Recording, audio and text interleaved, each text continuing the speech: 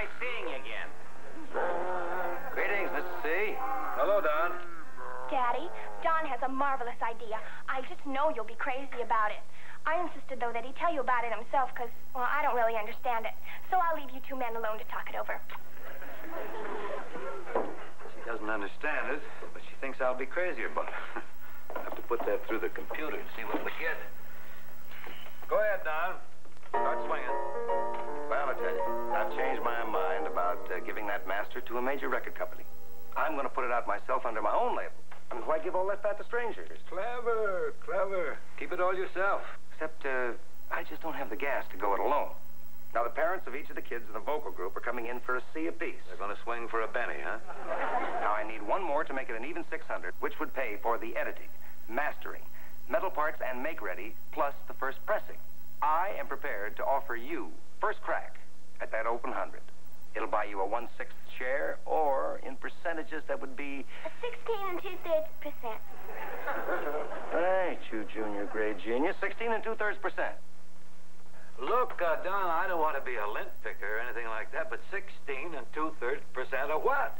Oh, well, first, see, we pay the artist royalty and the writer's royalty, the composer's royalty, and the publisher's take. Ooh. And I get one-sixth of what's left. Right. After the distributor gets his. hey, man, you really swing. Well, you just like that song, no matter how it's played. anyway, let's suppose we sell 200,000 copies. That'll make the producer's end $22,000.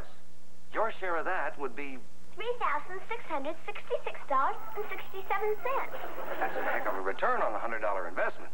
yes, it is, but suppose you don't sell 200,000 records. So we only sell 100,000. The producer's share is $11,000. And Daddy's is $1,833.33. Look at it this way. To get your original investment back, all we have to sell is 5,454 records. How'd she do that so fast? This kid was weaned on a slide rule. Why'd you get lost now, honey? Oh, Daddy, why? Because this is man talk, and you're a girl. Go ahead, fade now. Mm.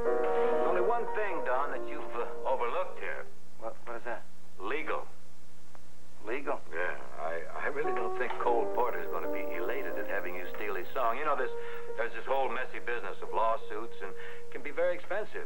You, uh, you feel it's too similar to Night and Day? it is Night and Day. Dead, killed, lacerated, mutilated, but the corpse, still Night and Day.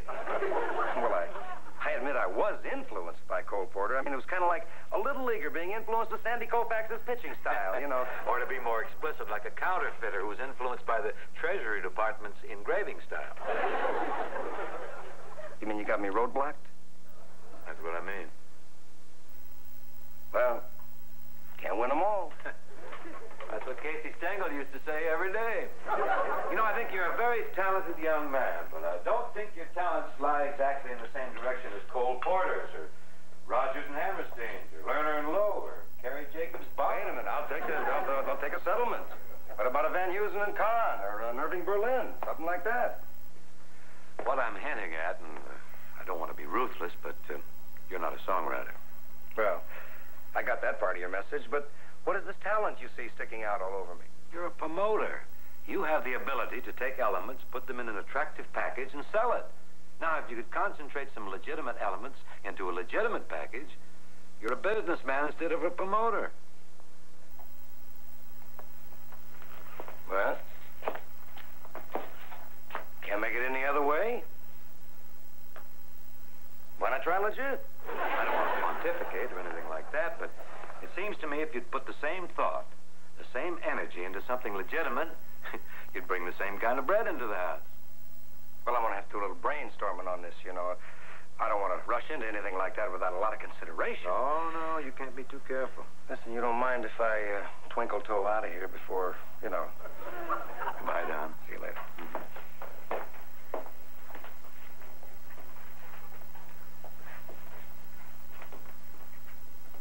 Listen, on that record deal, Suppose we cut Cole Porter in for a piece of the action.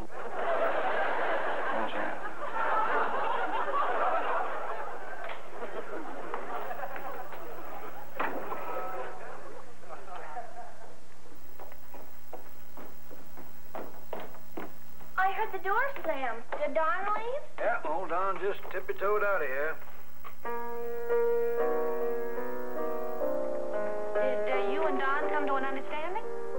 Yeah, you might say that. What's that you're playing? It's Cole Porter's Night and Day. He stole it from Don. He just took Don's song and slowed it down.